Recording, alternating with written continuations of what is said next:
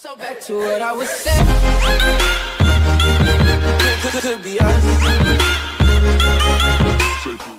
नमस्कार दोस्तों, जैसे कि आप सबको पता है लेनोवो ने फिर एक फ़ोन लॉन्च कर दिया है, जिसका नाम है दोस्तों लेनोवो बी अगर इसके बारे में हम और बताना चाहें तो इधर आपको देखने को मिलता है, इसके अंदर एक super AMOLED display super AMOLED display यानी मेटल फिनिश जिसके अंदर है, जैसे कि आप स्क्रीन पर देख सकते हैं, बहुत ही कर्व एजेस वाला ये फ़ोन है। और इस बात करें, अगर इसके बैक की तो इसका जो बैक है, वो बहुत ही लेदर फिनिश दे रहा है इसके बैक को। और इसका जो कैमरा है, वो एकदम in the middle of the back में दिया गया है। और इसके कैमरे की क्वालिटी बहुत अच्छी नहीं रहेगी। और इसका जो स्पीकर है, वो सबसे नीचे दिया गया है दोस्तों। और अगर हम बात करें इसकी स्पेसिफिकेशंस की तो इसकी स्पेसिफिकेशंस उतनी खास है नहीं, पर मैं फिर भी आपको बता देता हूँ।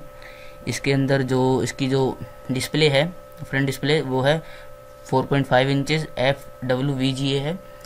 और अगर इसके अंदर हम बात करें प्रोसेसर की, वो है MediaTek six seven three five M quad core जिसकी स्पीड है one point zero gigahertz RAM इसकी है एक जी बी और वहीं अगर इसकी बात करें आप इंटरनल मेमोरी की, वो है इंटरनल स्टोरेज की, वो है एट जी बी अगर आप इसे बढ़ाना चाहते हैं तो आप एच कार्ड के ज़रिए बढ़ा सकते हैं जो है एक्सपेंडेबल आपकी बत्तीस जी तक यानी थर्टी टू जी तक एक्सपेंडेबल मेमोरी है इसकी।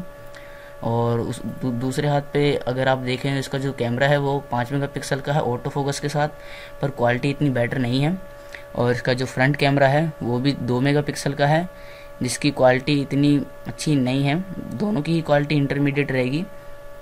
बैटरी इसकी 2000 हज़ार की है जो एक नॉर्मल एवरेज बैटरी है, सब फ़ोनों की रहती ही है। और इसमें सबसे अच्छी बात है कि आप जियो सपोर्ट कर रहा है फ़ोन, जिसमें four G L T wi-fi Bluetooth four point zero and G P S की सुविधा है। तो ये सारी सुविधा का आप लाभ उठा सकते हैं। वहीं इसके अंदर ऑपरेटिंग सिस्टम है सिक्स पॉइंट ज़ीरो यानी मास लो। अपग्रेडेड नहीं है सेवन पॉइंट ज़ीरो से ये। और अगर इसके अंदर बात करें प्राइस की तो प्राइस है इसका फाइव सेवन डबल नाइन यानी पाँच हज़ार सात सौ निन्यानवे। तो दोस्तों, अगर आपको हमारे चैनल अच्छा लग करना सब्सक्राइब करना बहुत ही आसान है। ये जो आपको लाल बटन दिख रहा है, ऐसे ही लाल बटन आपको नीचे दिख रहा होगा। उसे आप दबा दीजिए उसको साइड में जो घंटा है, उसे भी दबा दीजिए ताकि आपको नोटिफिकेशंस हमारी वीडियो की तुरंत मिल जाए। अगर ये वीडियो आपको अच्छी लगी हो तो लाइक ज़रूर करिएगा। और अगर इस फ़ोन के बारे में कोई डाउट हो, कोई भी प्रॉब्लम हो, कोई भी कंसर्न हो तो आप हमें कमेंट्स में लिख सकते हैं।